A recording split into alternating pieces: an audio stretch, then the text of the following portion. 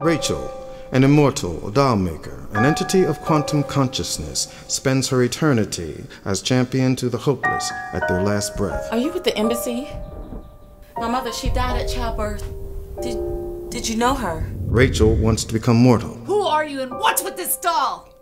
Rachel has one chance to use her dolls to send three women from their dead end fates into transcendent destinies.